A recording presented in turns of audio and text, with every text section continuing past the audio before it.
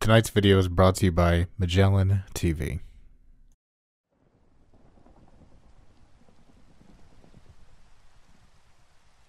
January 7th, 2000 was the worst day of my life. That's the day my little brother went missing and never came back.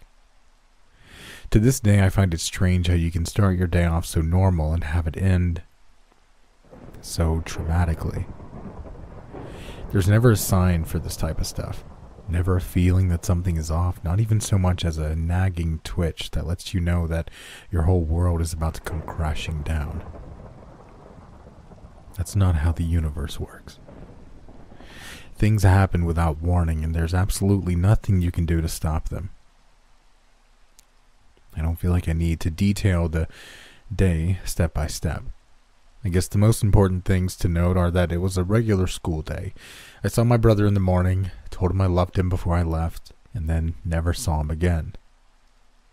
I remember staying up for hours after begging my mom to let me go with her to look for him, but she shook her head violently with tears in her eyes, and she told my dad to keep me home and keep me safe. Neither of my parents used the word missing, but I wasn't stupid. They told me they'd find him after the police got involved. They said he'd likely come back in a day or two. But that day turned into weeks, and those weeks turned into months, and those months turned into years. Not a damn trace. I think the only thing worse than having a loved one go missing is having them go missing with no hope of recovery. At least for other people, there's something a sighting here, a footprint there, a piece of clothing, or other personal items that can somehow suggest something. For so long, I would have taken false hope. Give me something to smile about and cling to as some kind of proof that we could get him back. We got nothing. As you'd expect, this depressed me. I was 15 when he disappeared. I managed to make it through school, go to college, get a job, and by the time I was in my early 30s, my parents decided to move out of our childhood home and switch states so that I and my expecting wife had a permanent home to live. But all this at a cost.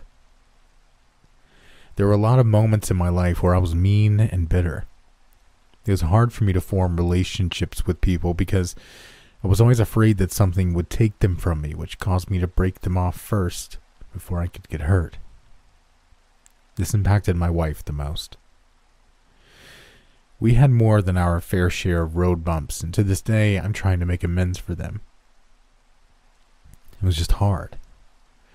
Trusting that she would always be there is still a struggle for me. But at the same time, having her and having a son was allowing me an opportunity to truly move on.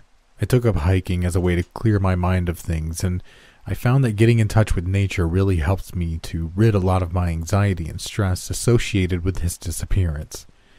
Our house had a good amount of woods behind it, so I'd often explore there when I didn't feel like making the journey out to other places. As I hiked deep through our woods on an early Saturday morning, a particular tree caught my eye. It looked a bit smaller than the others, and at a passing glance I thought it had a strange growth on it. Out of curiosity, I walked over to inspect it and gasped at what I saw. I saw what looked like a petrified human face in the trunk. It looked to be in such indescribable agony. I felt my heart racing with fear as to what could have caused it. I was sure for a moment that this had to be a coincidence. This had to just be a very coincidental human looking tree until I looked to my right and saw another face on the trunk of a different tree. This one looked more feminine, but it was warped into a permanent look of anguish. I walked around and saw more faces. Some trees held multiple, all holding looks of great sadness and pain, as if their last moments were spent being fused to these trees while alive. I felt so much hurt for these people. I knew at this point that this couldn't be a coincidence. My last rational thought was that maybe someone had carved these. Maybe someone had made this a fucked up art project for the world to see, but.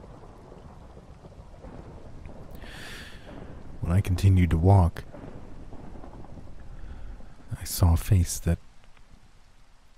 a face that I recognized. Tears started to well up in my eyes. I walked up to the one face that I knew for a fact I had seen before. As soon as I came within arm's reach, I stretched my hand out and ran my fingers down the face of. of my little brother.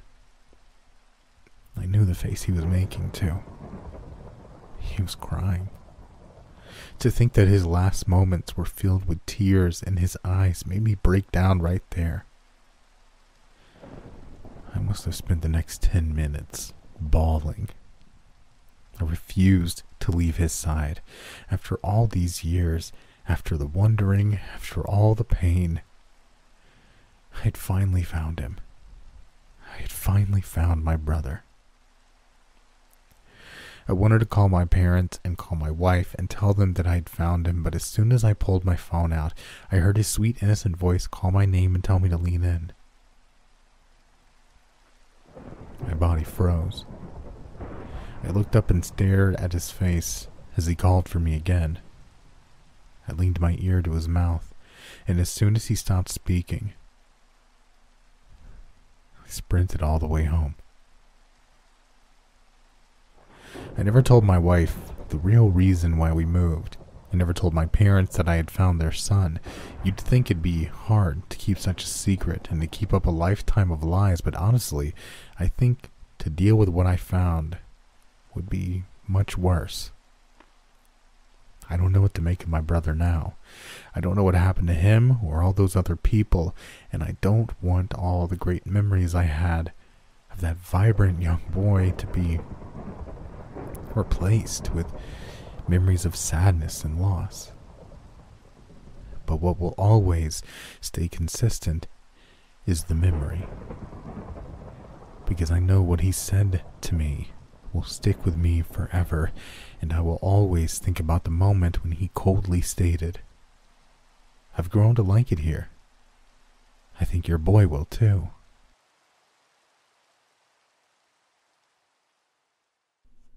We tell a ton of scary stories here on the channel, ranging from true crime to some things that just can't be explained.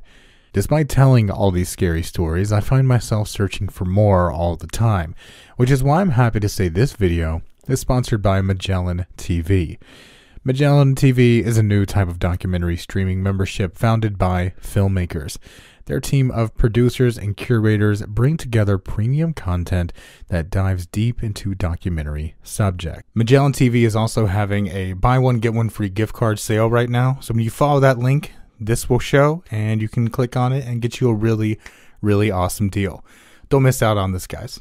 The best part about Magellan TV though isn't the massive library, it's the fact that you can watch all of this absolutely ad free, and they're always adding new titles, many that are available in 4K. You can stream all the shows on any device in your home too. Television, phone, tablet, it doesn't matter. You'll have all your favorite shows wherever you are. So if you think you've run out of things to watch, head down to the link below and get Magellan TV free for one month. No promo code, just click the link and you're ready to start watching. And thanks so much to Magellan TV for supporting the channel.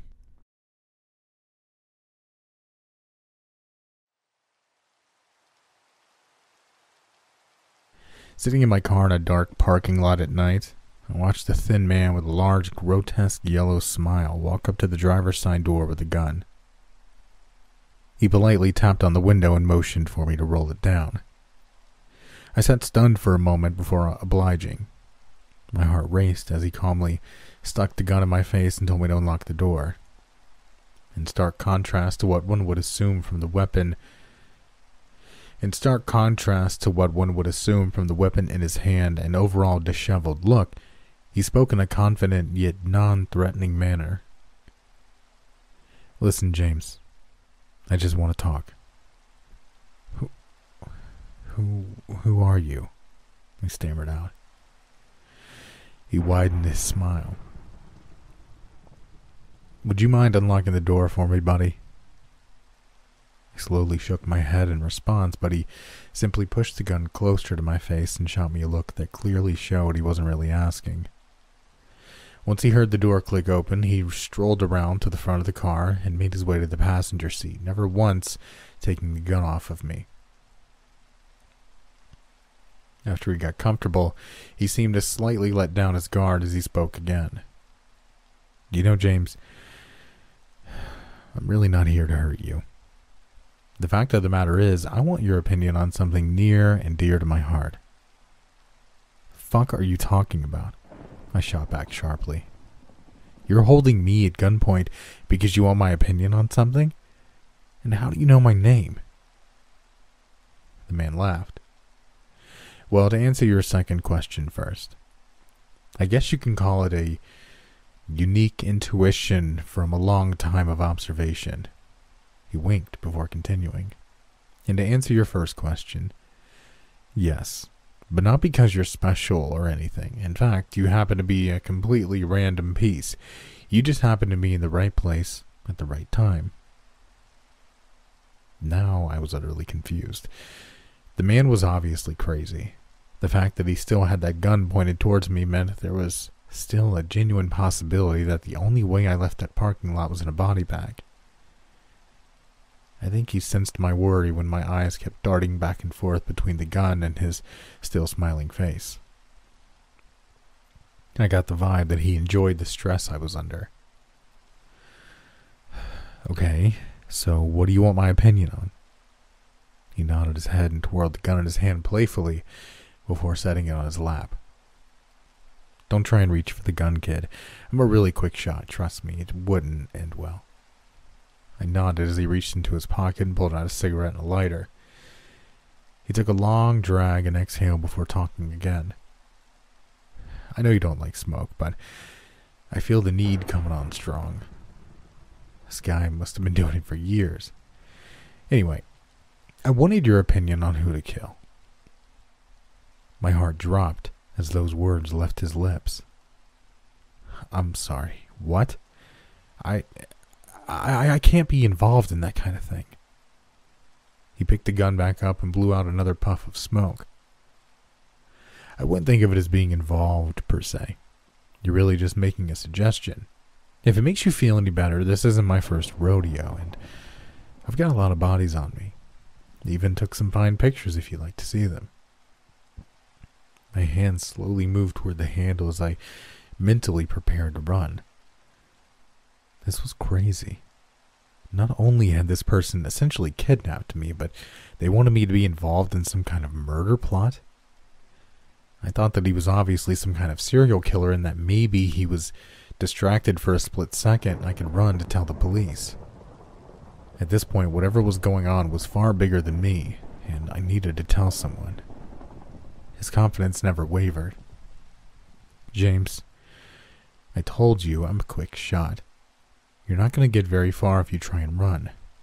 Really, I don't want to hurt you. Plus, even if you manage to escape and tell the cops like you're thinking, they'd never find me. I told you, kid. I have bodies, plural. Trust me. There's a damn good reason for what's going on. Now just answer my question and I'll be on my way. Promise. My hand slowly retracted from the door and he nodded in approval. I punched the steering wheel, and that damn smile of his indicated that he was enjoying every second of my moral conundrum. Just tell me what you want. He paused to cough before taking yet another drag. A puff of smoke accompanied his next set of words. Let's say someone had to hypothetically die tomorrow night. It could either be your mother, your best friend, or the father of a sick girl down the street from you? Who would it be? Just let me know, and I'll be on my way towards their house to do what needs to be done. You can't be serious, I screamed. I'm more than serious, James, he calmly responded. And if you try and give me that I can't pick bullshit, I'll just kill all of them. There's no skin off my back. This time I laughed. At that moment, I thought the man had messed up. I hadn't been to my mom's house in years, and she was extremely protective of her personal information. She didn't have social media, lived out in the middle of nowhere with my dad, and didn't trust electronic services enough to ever put her information out anywhere. He was lying about knowing where these people were. If he was lying about that, then he was most likely lying about everything else. Hell, the only reason he probably knew my name was because it's so common. I could pick someone at random, and this crazy person would hopefully be on his way to leave me alone. Tick tock, James, he said as I was frozen in thought. Who's it gonna be? What if I picked my mother? I called his bluff. You know where she's at right now. He chuckled. of course I do. Prove it, I said, furiously banging my fist on the dashboard. He rolled his eyes and pulled out a phone from his pocket. It only took him a few seconds to type in a location and show me an image of a house that my mom stayed at with my dad. This is her, right? My eyes grew wide. How the hell could he have possibly known that? No. I lied. The man shrugged. Fine. Doesn't matter. If that's who you pick, then I'll show up and kill whoever does live there. And trust me, you can call the cops and hope that they'll get there before I do, but it won't make a difference. He paused for a moment and thought. In fact, it might be a little weird that you had knowledge of a murder before it happened. Old people with a big life insurance plan being killed by a child who then goes and feigns confusion and grief to the police. It's a story that's played out many times before, and I can see the headlines now. Man hires killer to take out parents for insurance money. Gets life in prison. He then leaned in close to me. Is that what you want, kid? I didn't respond. He took another drag on his seemingly endless cigarette. Didn't think so, he said before blowing out another puff of smoke. So, who's he going to be? I'm not going to ask again. I shook my hand and weakly put my hands on the steering wheel. The father of the sick girl, I suppose. Just please, leave. His wide smile grew even wider. He set the gun down entirely and stated in a mocking tone, Thank you for your cooperation. He shoved open the passenger side door and put a foot out before stopping. Oh, there is one thing I should mention. He then turned back around to me. That little girl's father is a real piece of shit, you know. Beats his wife, cheats on her with a lot of women in the neighborhood. Guy's even contemplated suffocating his own daughter to get an insurance payout. That's not even to mention the wild views he holds on his personal life. He's even making one of those current employees' lives a living hell because she won't sleep with him. But he's fired people for much less uh, reasonable matters and then gone on to ruin their lives even further. Overall, just an awful, scummy human being. He violently coughed and rolled down the window to spit. Damn, this body sucks. Anyway, that being said, the other two choices are somehow worse. Can't really get into it because you didn't pick them, but it really makes you think, huh? How are your mother and your best friend worse people than absolute scum? Guess that's up for you to find out, right? anyway, consider this a kindness. Hopefully, we never meet again. With that, he simply closed the door and walked away. I think I sat in that parking lot for another half hour, contemplating what the fuck just happened. And then I drove to a nearby liquor store, bought a bottle of tequila, and drank myself to sleep. The next morning, I woke up to news crews down the street and police tape sectioning off what looked to be a bloody crime scene. I come to find out later that evening everything he said was true. The man indeed was a horrible person, and what was one public support towards an unbelievable cruel incident soon turned into a feeling that somehow justice had been accomplished. I never told the police what happened. Maybe I should have, but I don't know. I suppose at the end of the day, I just didn't want to be involved more than I had already had been. Conversations with my parents and my friend have been weird too.